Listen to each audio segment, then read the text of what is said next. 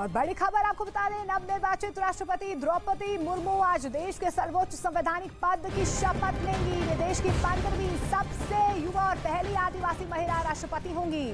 नवनिर्वाचित राष्ट्रपति मुर्मू थोड़ी देर में राजघाट के लिए रवाना होंगी, जहाँ वो राजघाट पर महात्मा गांधी को श्रद्धांजलि देंगी।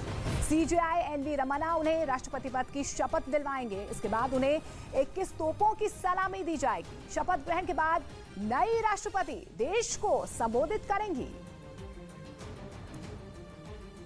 तो नवनिर्वाचित राष्ट्रपति द्रौपदी मुर्मू आज देश के सर्वोच्च संवैधानिक पद की शपथ लेंगी। वे देश की पंद्रहवीं और पहली आदिवासी महिला राष्ट्रपति होंगी। अब आपको उनके कार्यक्रम के बारे में बताते हैं। क्या कुछ कार्यक्रम उनका रहने वाला है? सुबह आपको बता दें कि नौ बजकर बाईस मिनट पर द्रौपदी मुर्मू राष्ट्रपति भवन पहुंचेंगी।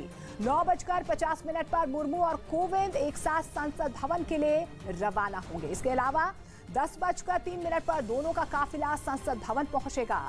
दस बजकर दस मिनट पर द्रौपदी मुर्मू सेंट्रल हॉल पहुंचेंगी। दस बजकर पंद्रह मिनट पर द्रौपदी मुर्मू का शपथ ग्रहण होगा, वो शपथ लेंगी। और दस बजकर तेईस मिनट पर संसद में राष्ट्रपति मुर्मू का संबोधन होगा।